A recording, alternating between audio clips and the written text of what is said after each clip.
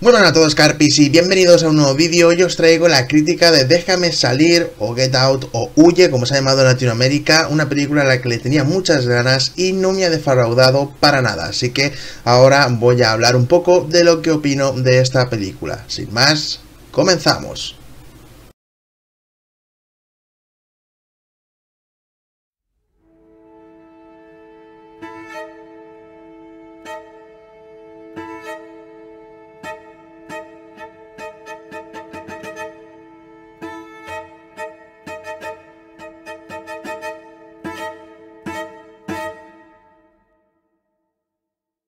Como he dicho al inicio, es una película a la que le tenía muchas ganas y la verdad es que no me ha defraudado para nada. La premisa, en principio, es fácil. Un joven afroamericano visita a los padres de su novia, donde le van a conocer por fin, y allí ya eh, empieza a desatarse todo lo que vamos a ver, que es una pasada. La verdad es que estoy encantado con esta película.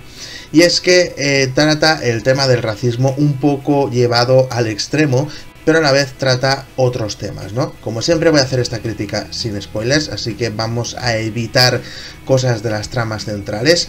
Hay que decir que la película tiene un ritmo estupendo, en ningún momento decae ni se hace aburrida, te lo va contando todo poco a poco, vas descubriendo todas las cosas poco a poco. Quizás en algún momento es algo predecible porque algunas cosas sí que las ves venir eh, que vayan a ocurrir, efectivamente al final ocurren, pero eh, por lo demás es genial, es decir, es que está contada genial, eh, tenemos eh, un inicio muy breve, es decir, la película arranca bastante rápido, la verdad. Intentan también jugar con el espectador para ver qué es lo que ocurre o qué les ocurre a cada una de las personas que están allí, por qué son así y luego pues poco a poco te lo van contando todo y queda totalmente claro. Por lo tanto es una película que tiene una trama concreta y todo se desenvuelve perfectamente.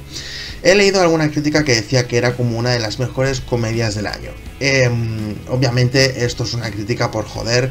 Eh, porque no es así. Es cierto que hay humor, los puntos de humor recaen en el mejor amigo del protagonista, pero es que es un personaje tan bien realizado que esos puntos de humor son geniales y le vienen muy bien a la película porque da esa diferencia, ¿no? Te da una de cal y una de arena. Estás con la tensión de lo que está ocurriendo en la casa, de lo que está pasando en esa visita del protagonista a la casa de los padres de su novia, y a la vez luego tienes ese momento de relax con el mejor amigo que tiene su propia trama porque obviamente está preocupado por su colega y eh, pues hace una investigación paralela. Y está muy bien, ya digo, ese personaje está muy bien enfocado, muy bien realizado y pega perfectamente. No es una comedia, pero ojo, tampoco es una película de terror como han vendido, ¿vale? Es un thriller que está muy bien hecho, pero no es una película de terror como tal. La trama a mí me ha parecido muy interesante, como he dicho antes trata el racismo pero llevado al extremo y eso está muy bien, pero, pero también toca otros temas que son muy interesantes de ver en esta película.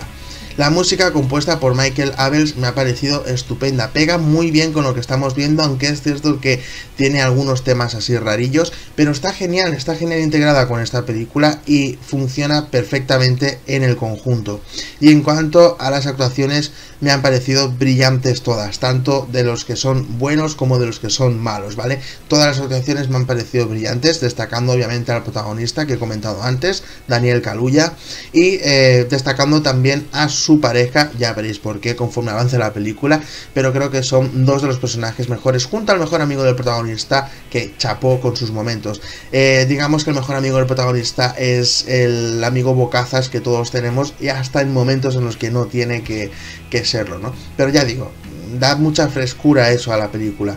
El doblaje me ha gustado, obviamente mi segundo visionado será siempre en versión original, pero el doblaje en esta película me ha gustado mucho, creo que también es acertado, así que en cuanto a eso ninguna pega. En conclusión, recomiendo muchísimo esta película, como digo es un thriller que te mantiene en tensión durante toda la película, vas descubriendo poco a poco, no se aburre, empieza rápido, es una eh, película muy dinámica que te absorbe, que te consigue absorber y te hipnotiza justamente, ¿no? Ya entenderéis por qué eh, cuando veáis la película que diga esto.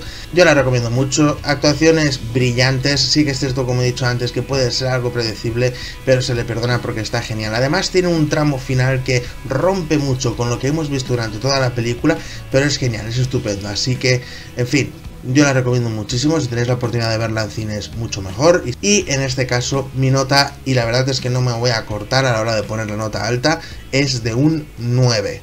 Ya hasta aquí llegamos hoy, esta es mi crítica de Déjame salir. Como veis he salido encantado del cine, así que os la recomiendo muchísimo. Como siempre recuerdo que esta es una opinión personal, no tiene por qué coincidir con la vuestra. Muchas gracias por ver este vídeo, espero que os haya gustado. Nos vemos en el próximo. Dale like, comparte y suscríbete para más vídeos. Adiós.